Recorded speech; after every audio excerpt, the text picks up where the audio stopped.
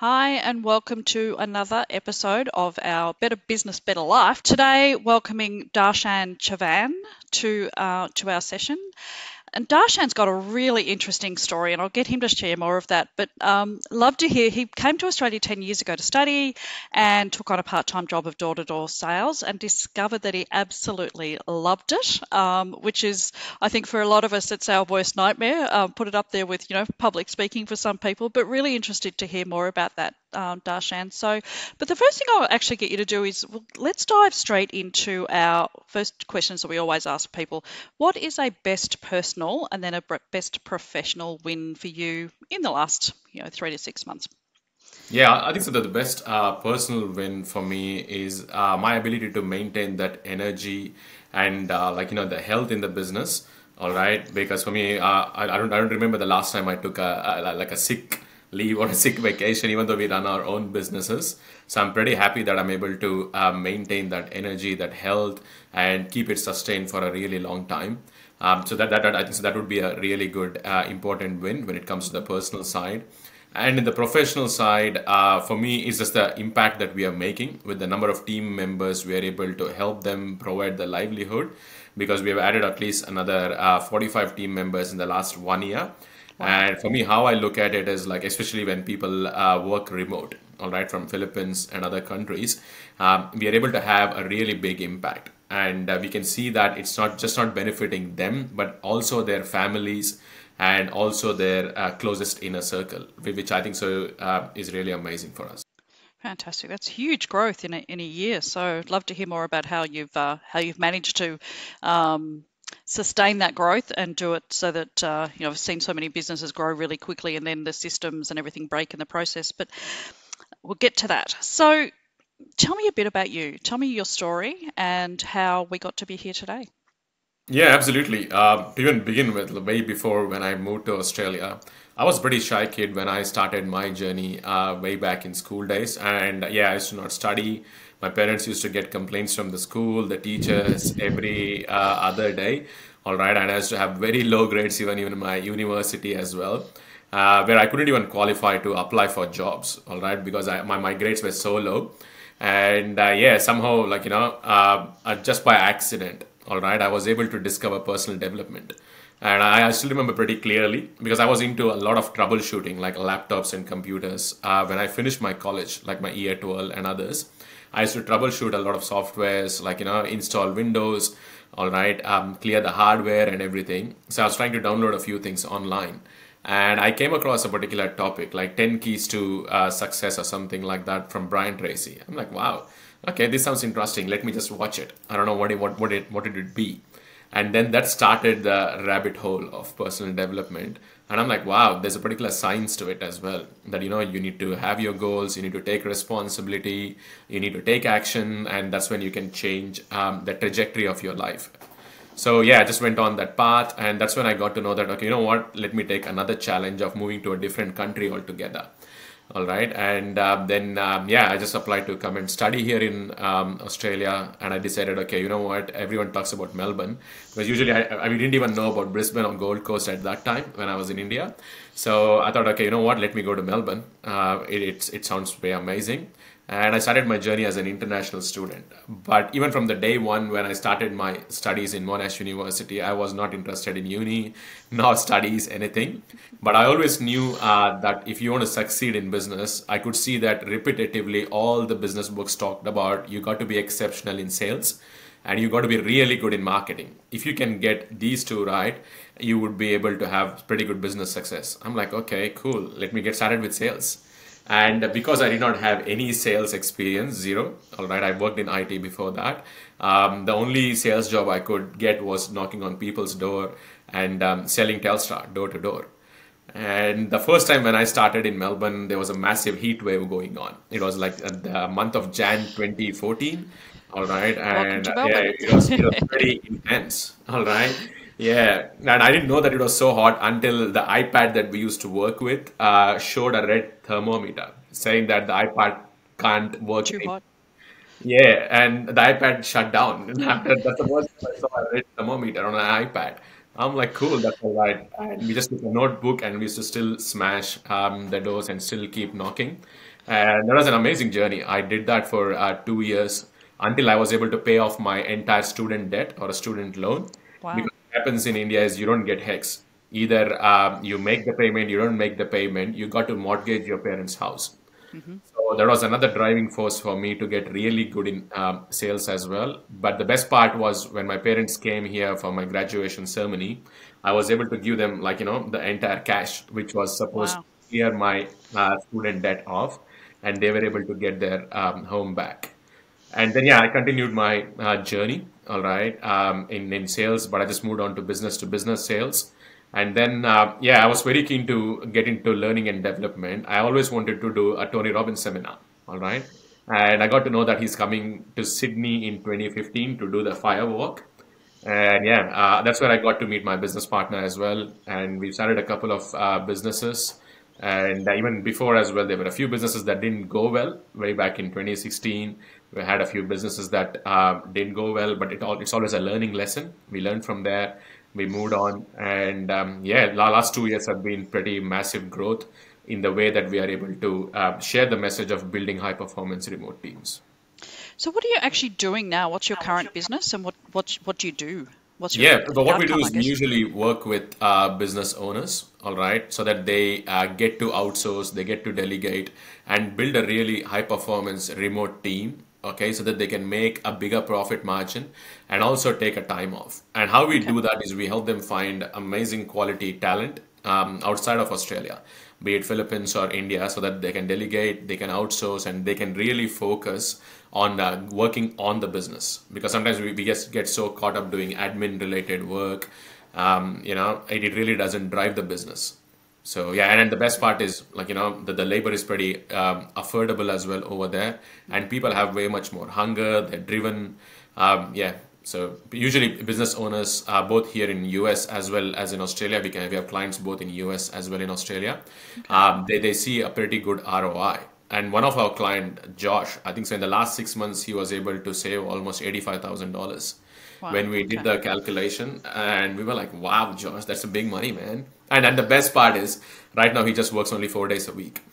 He just takes uh, three days off. Uh, i don't think so. In the last three months he has worked on any friday as such. Yeah, I was talk, uh, heard somebody say a, a while back that um, they have now what what's become known in their family as Farm Friday.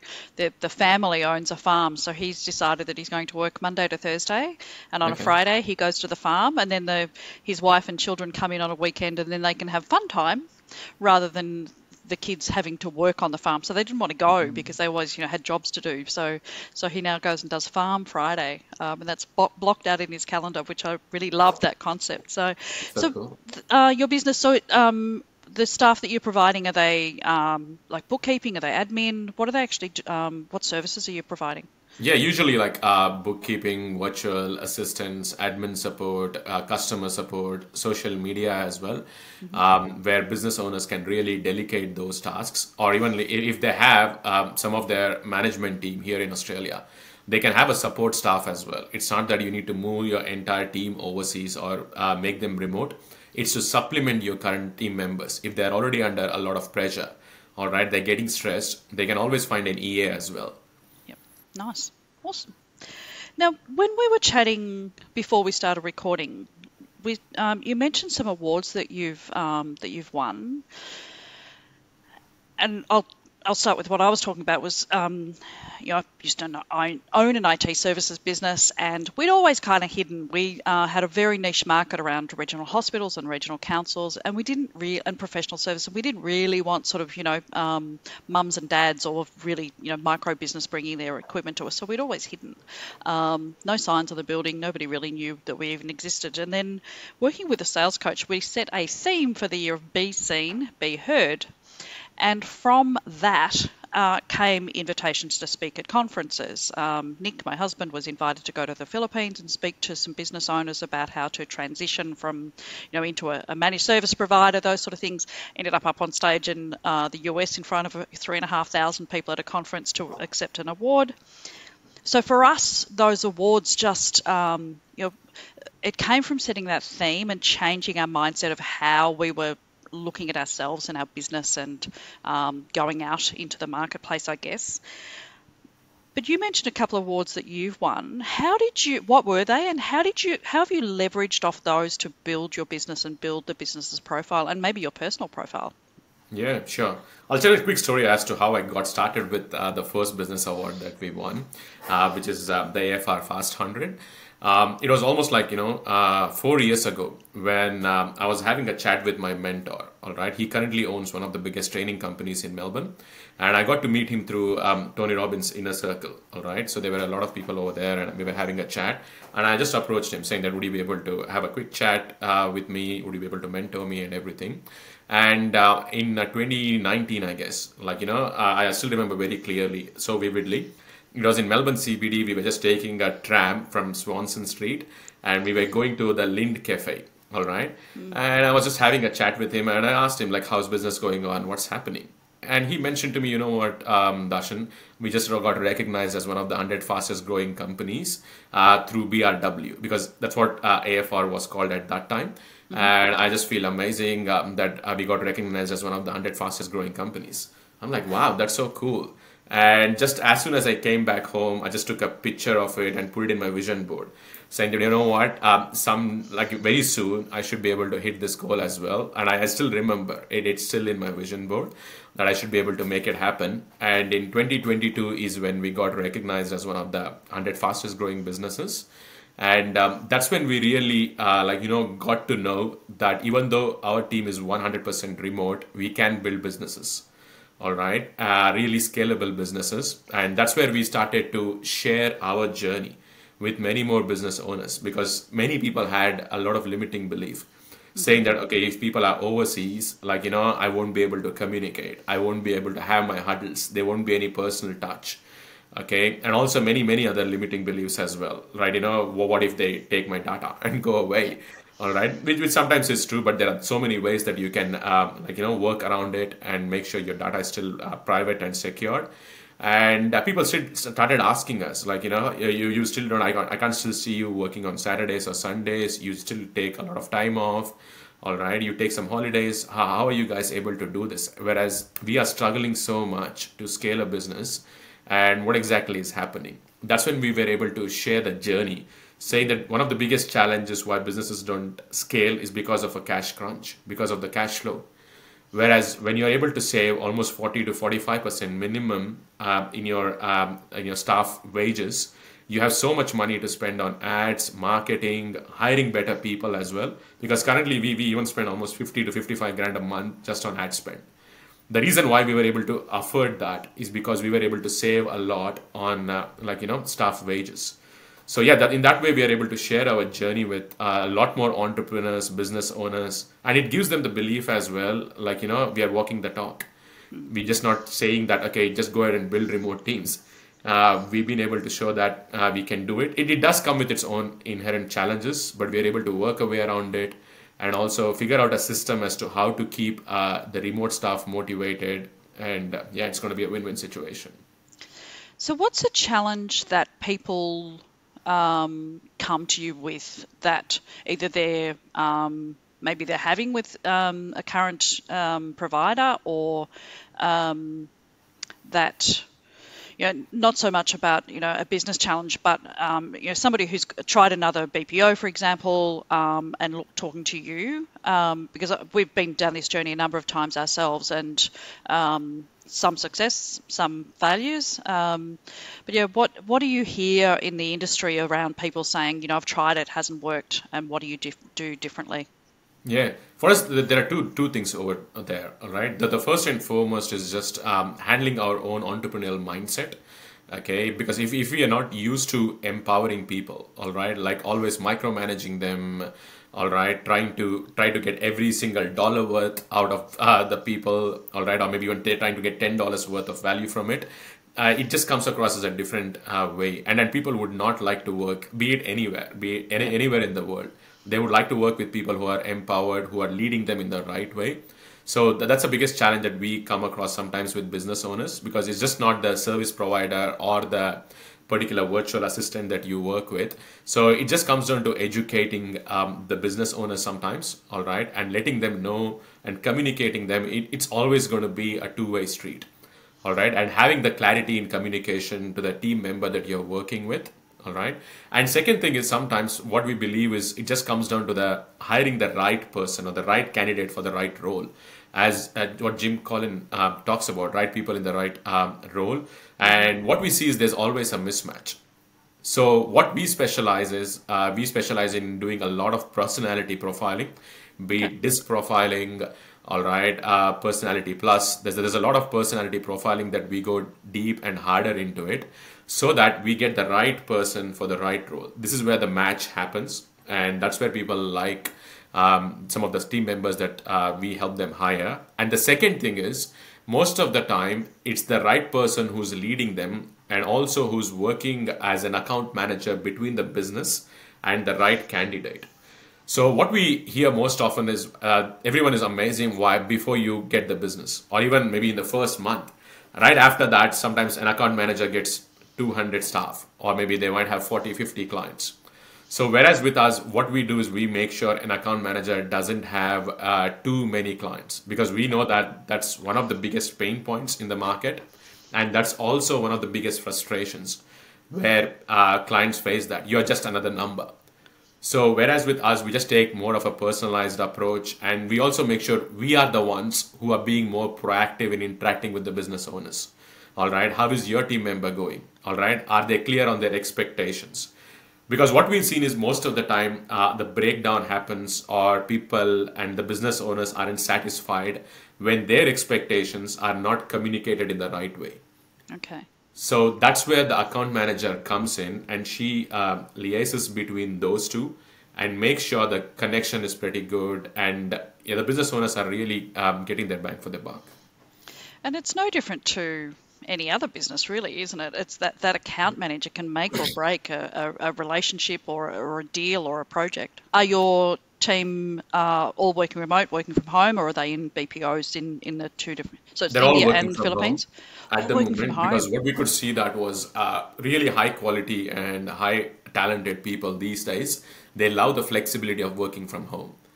All right, uh, but but having said that, we have systems in place to make sure that uh, like you know the data is protected and also we have different ways all right where we make sure that they are still working on the business and people are able to get their returns what they need nice and it's interesting i um so we're both members of EO Entrepreneurs Organisation. I was learning chair of EO Melbourne through COVID, um, mm-hmm. so organising events and spent hours on Zoom doing um, you know learning events and things. And one of them was a um, I guess a panel on uh, offshoring versus onshoring and you know what's working, what not working. And one of the things that I really learned from that myself, and I was the host of the panel, was not looking at it as offshoring or external resources, everything. These guys are just part of the team. True. And and where they are really doesn't matter because you know through COVID, um, particularly based in Melbourne, we're in, in lockdown, um, you know, as many other places around the world were, and really that shift from just getting the right people into the right role, regardless of where they are. Big time, yeah, because it, it doesn't matter if they're in Australia or US or Africa or Philippines. It just comes down to the culture of your um, company, and that, that's something that we really work hard on uh, to making sure that the culture is set up right. And that's where most of our effort, time, everything goes into making sure the culture in the company is set up in the right way so that it has a ripple effect. So, how do you manage your internal culture? If you have so many people working all from home in different countries, you've got, you know, what, what does the structure, the leadership team structure look like? Yeah, I'll just share with you one, one thing that we do, uh, which we are having today evening as well. Uh, what we do is at the beginning of the month, we have a thing called as a town hall meeting, all right, where every month we have the entire uh, company come across and have in a Zoom call, all right, where we share the wins that the company has had, where we are going, what are our future plans, And we also have a few of the virtual assistants come and share their journey since they started working with us and uh, what kind of an impact. So that's the leadership team sitting in that and, and the account managers, and then you're bringing some of your va So that's not an all in all team, in experience. experience. Everyone because that's why we do it after. Oh, wow. Uh, so how many hours, staff do you like have? 6.30 in the evening and everyone just jumps on um, okay. Zoom. And um, yeah, there are just a few people speaking and sharing their journey because every month we select a, a, a few nice. people who have had amazing successes, and we do a lot of recognition as well during those times. All right, there's a lot of uh, fun games as well. We play over there like trivia questions. And um, yeah, that's how we make sure that there's a part of a, a culture. And at the same time, the leadership team also knows that this is where the focus is going for the company. Nice. Yeah, I love that that inclusive. Um, we we did a lot of that through. We were pretty good at it before. We'd had a remote team for 20 years, um, so we were pretty good at doing it. But COVID just made us to you know take it to a whole new level. Um, and you know having that you know once a month staff meeting, and you know the biggest we got was 36 staff I think uh, before we sold, and uh, you know it was starting to get a little bit harder to manage that amount of people, but um, including everybody, so everybody knew that they were, you know, part of that bigger picture, and and um, and and it also came to that be seen, be heard, making sure that our staff felt that they were seen and mm. heard, which sounds like you have the, the same approach. Um, so leadership team. So you have a business partner. What else? Who else sits in that leadership yeah, team? What we do have an operations like? manager. We have an account manager. We have a recruitment manager. So yeah, and, and, a, and, a, and a sales lead as well. So these are the few people that we have over there and all of them have their own uh, KPIs, their things are clarified. And usually on every Wednesday, we even have a leadership meeting where we go through in detail, like, you know, a few of the skills that we can improve as leaders and less about the numbers because numbers is where what we discuss during the one-on-one session. And uh, more about the skills like you know what kind of leadership skills that we need to build on. How do we develop that culture okay? How do we uh, be better at having open communication with people how do we build people up? How do we motivate them? How do we influence people? And yeah a few other topics like those so that they can really grow as a leader and uh, they would be able to have an uh, empowering impact on the people that they lead. Fantastic. Now you mentioned earlier about um, you met your business partner at a tony robbins event um, what other things have you done around that personal development? Because it sounds to me like that's been a big part of your your life and your personal. Yeah. I think so. Like, yeah, personal development has been a really, really major part of my life.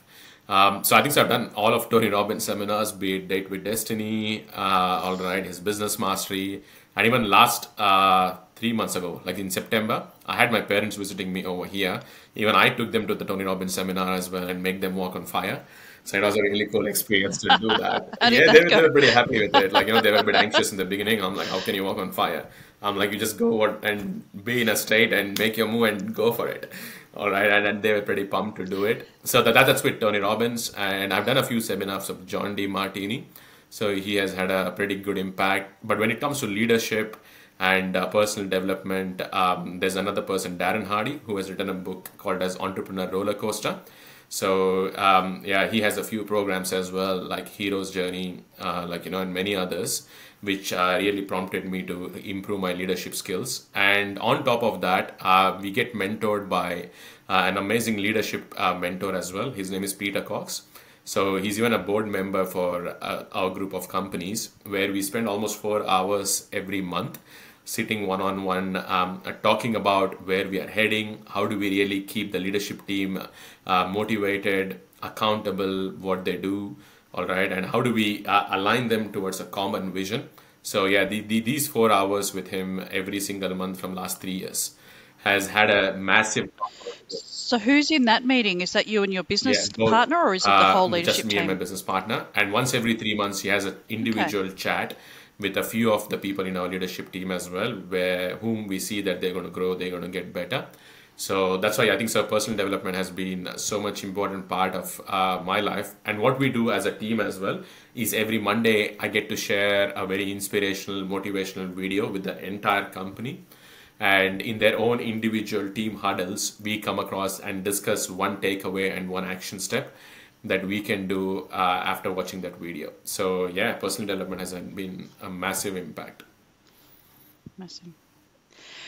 What do you think, uh, or do you think any cultural differences play into um, that personal development space? I, you know, um, I do now coaching and, and it's implementing and various other programs that I run with um, businesses that have you know um, lots of you know diversity uh, in Australia in their staff, but also offshore teams.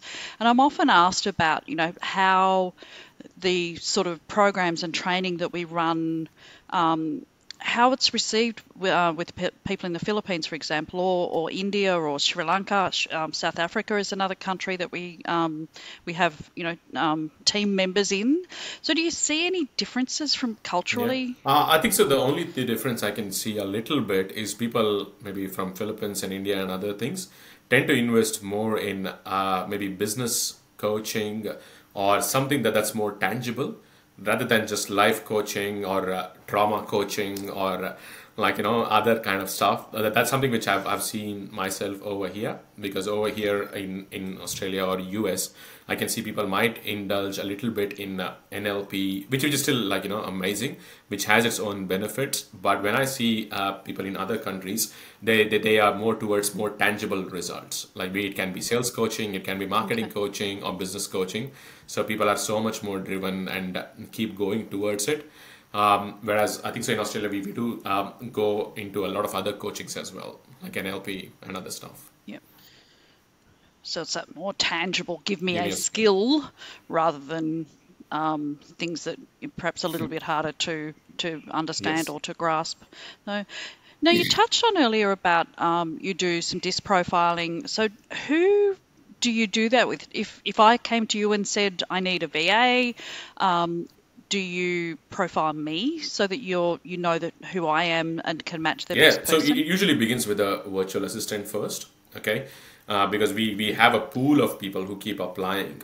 All right, because uh, I think we have some amazing ratings as well on Glassdoor. Uh, like you know, we have almost like 28 five star reviews on Glassdoor where people uh, come and say that they have they love working with us. And also, what we have done is we have built an entire landing page only to hire top level talent. So a lot of people uh, know that they can have amazing benefits working for us. So we get a huge number of uh, high quality talent applying for us. So we usually try to profile them. Okay, that's how it begins with. And depending on the role, so let's take an example. If it's going to be a customer support role, we try to look for uh, just taking disc as an example. We try to look for a person who's more I. When I say I, like someone who's more bubbly, who's a people person, all right, and uh, people love speaking to them on the phone Okay, so whereas if you're looking for a bookkeeper, you would look more for a C type of personality. You don't want an I like me. yeah, if you look more for an I personality, it's going to be a disaster, and that has happened through our own experience. Yeah. All right, because you got to be detail oriented, you got to be analytical, you got to be process oriented. But most of the times, they, they, this doesn't happen. All right, because you just look at the experience, and someone they might have worked as a bookkeeper, but they are extremely high I personality but still five years they've been working as a bookkeeper and might not have done that of a best job. Whereas when you look for a bookkeeper and if they're a high C personality, there's going to be an amazing match. So that's the first part of doing it. And the second part is as soon as we help the team member on board, we start working with them, we also profile the business owner so that the staff member understands if they're going to be an extremely high D, uh, they don't care about anything, they just care about the results. All right and even though they, they may come across as a little bit more bottom line they, they, they mean good all right? Because that's the personality that they have. They're, they're really high d. That doesn't mean to say that like you know they're a bad person. They're just worried about results. They're worried about taking action and moving forward. so that's something that we try to communicate it uh, with them as well so that there's a kind of a match yep. in the personalities. And then other everyone knows who they're working with yeah, it's interesting. We, um, I'm, I'm a disc profiler, so I've, I've um, a lot of knowledge and um, and used to use this a lot in our business as well. And um, and when we started using it in the business, you know, we um, we actually discovered that we had hired a lot of I personalities. Um, I think all of our sales team were DI, ID, which kind of makes sense. Um, and our sales coordinator was an SC. So, well, that makes sense as well.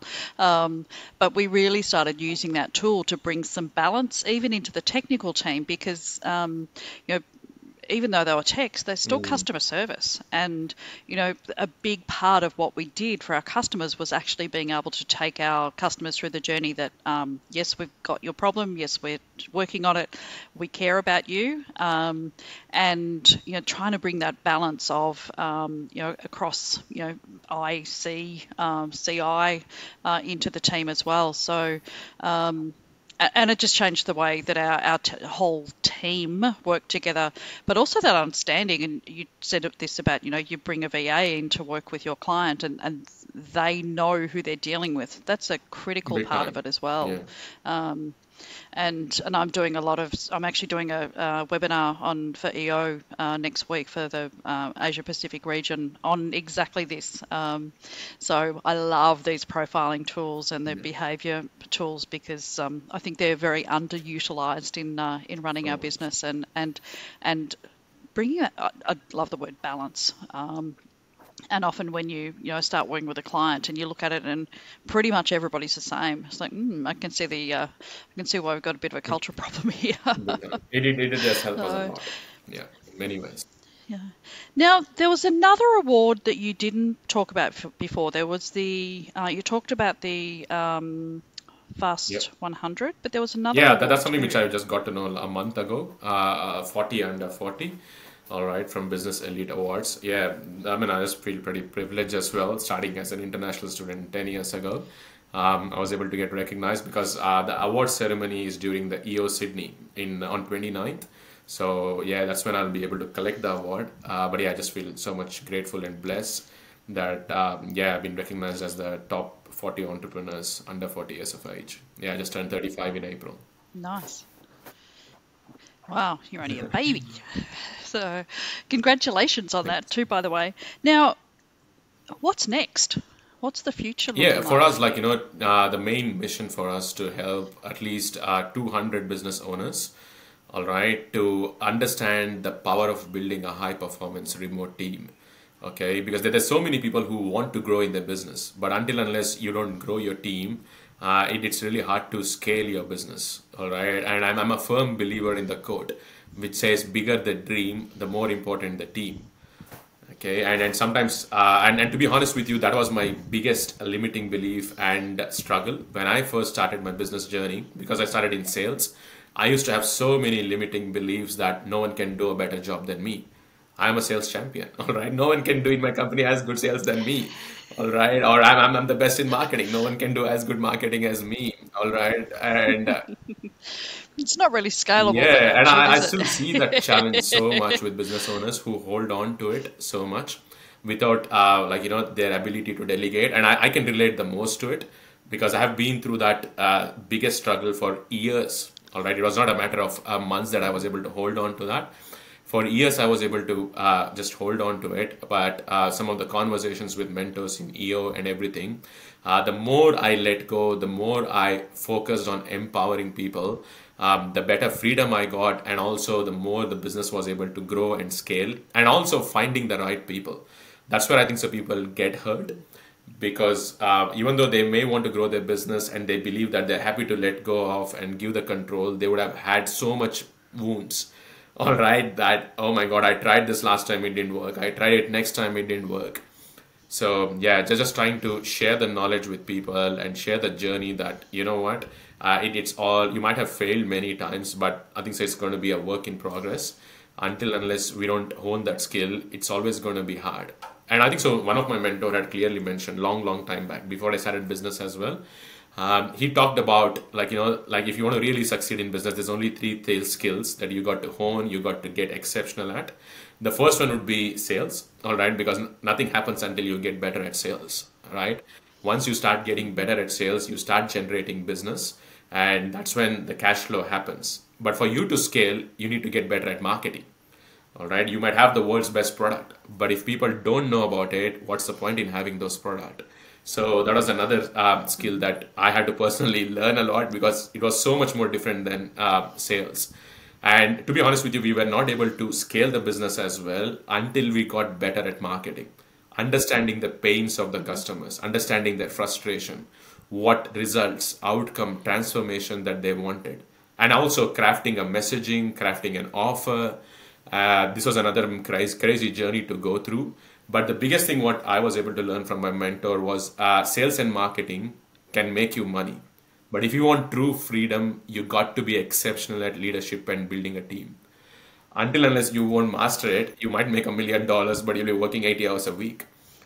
Um, what's the point yeah. in it? So yeah, so usually even uh, now that's a work in progress for me. That there's so many areas where I need to hone my leadership skills. I need to get better at it, and uh, so that's why I, I, can relate to so many business owners. Like you know, as we are told sometimes, even when I speak with many business owners, we try to run a business as a job. We still have a middle class mindset. And uh, just, just last week, I was having a chat with a business owner, and he's like, you know what? I want to hire a staff. I want to hire a team member. But what if I it doesn't work? What if I lose the money? And I'm like, you're going to learn some things, all right? that's a, that's a part of the process. You always there's no hundred percent guarantee that this stuff is going to work for you. But the challenge is for a long time during our school days, during our childhood days, we are programmed uh, failing is bad, losing money is bad. But nothing much happens until you fail, until you learn from it. Oh, that's where you learn. Yeah, the failures are where we the where we learn the most. Um, you know, learning is uh, so you know winning is fun and doing things well, but it's actually not where where we learn the lessons that we need to. And and leadership is a lifelong journey. Um, and you know it's it's not one of those things where you go and do the course and put the certificate on the wall and say I'm now a leader. Um, and even as we're seeing now the different generations and you know what they're bringing to the table and their their expectations and you know so um, you know, sometimes I think, you know, in the, the years that we had our business, you know, we thought we'd seen everything and then something will happen and go, oh, mm. haven't seen that before. Okay, something new to learn. So, so let's finish up, Darshan, with three tips for you to share with our uh, Big time. listeners. Uh, for me, the biggest thing that, that stands out was uh, when I attended uh, the Wealth Mastery Seminar by Tony Robbins. All right. And I was so keen to attend this because I wanted to grow my wealth. I wanted to have an amazing investment portfolio, everything, and I was just pumped up uh, so that they can start their seminar. And the very first slide uh, that they put in, they put in a pyramid, all right, as to what is most important in your life. And at the bottom, as a foundation of the Wealth Mastery seminar, was health. And I'm like sitting there, I thought, I'm in a Wealth Mastery seminar. Why are you talking to me about health, nutrition? Okay and supplements exercising mental health everything. And when uh, tony started talking he said everything like you know your wealth your relationships all right your peace of mind everything depends on, on your foundation of your health your body. That's the only vehicle that you get to use. And that's when i had like a really epiphany and a light bulb moment. Wow this is something which i really if i focus on if i get better at it can have a ripple effect on all other areas of my life. So I, I think so just, just focusing on health, energy, all right, how can you make sure you're always try to be in a state of amazing energy? Because um, uh, I had one of the one of the books which I read, uh, Entrepreneur Roller Coaster, where he talked a lot about what CEO stands for because we always think CEO stands for a chief execution officer, right? Or chief executive officer. But he says, as a CEO, you are the chief energy officer. Okay, because until unless you don't bring in that energy, people rarely tend to connect with you. All right, and if you are always dull, if you're always less energy, people tend to go off the cliff, and there's not much happens and energy equals execution. Oh, absolutely, they set yeah, the energy, exactly. don't they? So yeah. I think so that, that's one thing which I have tried to work on as much as possible. That's where two years ago I got a lot into biohacking as well because yeah, just going through the traditional method of uh, like you know doctors and other things used to never work. So I had to choose my own path, get started with ice baths, like you know uh, cryotherapy, many many other things like juice fasting, water fasting, all those aspects had an amazing impact on my um, life, and I, I just feel good. Like you know, um, when we are sick, we don't feel good. We had the uh, the EO Melbourne um, chapter retreat here in Bali, where I live. Um, in May, and that's one of the things that we did was, um, and I think there was 120 people in basically an ice bath swimming pool, um, which was very impressive um, that they could actually create an ice bath in Bali. But uh, but to see that many people uh, participating Amazing. was pretty cool. That's so good to hear. And the second uh, important thing uh, for me, which has played a big role, is uh, one of the books called as "Who, Not the How" by Dan Sullivan uh, from um, Strategic Coach. Uh, and I think so. I've read this book at least three times because uh, I could clearly see that every time I used to have a goal or a project to do, I used to always think, "How do I do it?" how do I do it? I, to, I used to make a list of all the tasks and everything, uh, but Dan does go deeper into it. it. It's not always the how, because that's how small business owners, um, that's how usually self employed people think about it. But if you want to really achieve bigger goals, it's the who, because that particular who can help you hit those goals, hit those dreams faster, and also make it sustainable for a longer time. And, and to be honest with you, we have built our entire business uh, around that concept uh, who, not the how, because the more better you get at finding that uh, who and trying to delegate them, empower them, and uh, really motivate them to achieve your goals, I think so you will have uh, amazing, amazing sets of leverage that's going to be happening. Because I think so leverage plays the biggest role in business than anything else. Yeah, I read that one a while ago. I might put it back on my list to uh, to read it again. So thank you for that one. Uh, And number, three, is again uh, just to focus on long-term thinking. Okay, uh, because again, it, it serves as a massive reminder for me. All right, it, it always takes more time than what we think. Because when I started my business, I thought, okay, you know what? In next year or two years, I'll be a multimillionaire. I'll be driving Lambos and uh, like you know Ferraris everywhere. and How's yeah, that going you? you know, it's still going to be a long um, journey. Okay, and, and and more importantly, thinking in long term. In in most of the decisions that we make, all right, even when uh, a team member has some challenges, all right, just just putting ourselves in their shoes, having that empathy, connecting with them. You know what? Uh, people are always doing the best that they can with what they have, and just trying to understand and putting ourselves in their shoes and trying to think long term. All right, well, is it, is this my decision going to affect long term things? I think so that, that those three things have had a really big impact. Just to reiterate, focusing a bit more on the health and energy as a business owner, and focusing on who, not the how, as much as possible, Who, not how. and also thinking uh, really on long-term prospects, like you know, or decisions, trying to make as many decisions as possible in the long term. Long term. And it's so true. They say that you know you uh, people uh, way under overestimate what they can do in one year, but underestimate what they can do in ten.